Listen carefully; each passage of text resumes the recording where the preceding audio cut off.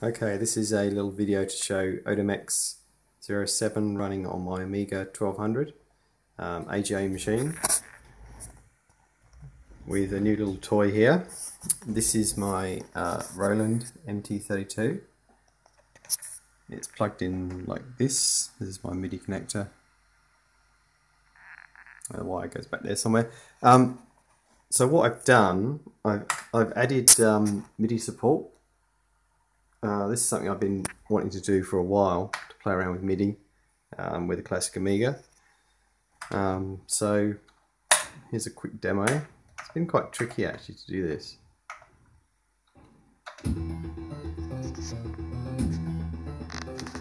There goes the Roland.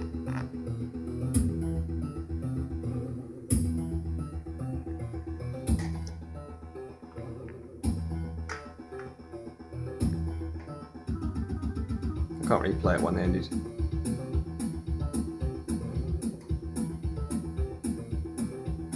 yeah, it doesn't seem to affect performance at all, which is nice.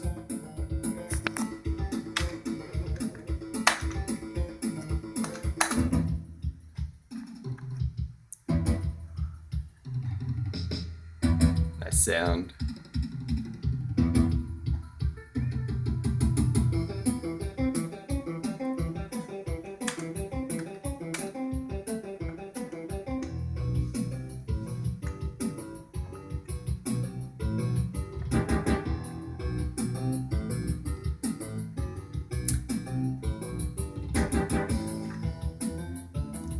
So yeah, there you go. Um, nice, nice MIDI sound with an Amiga uh, AGA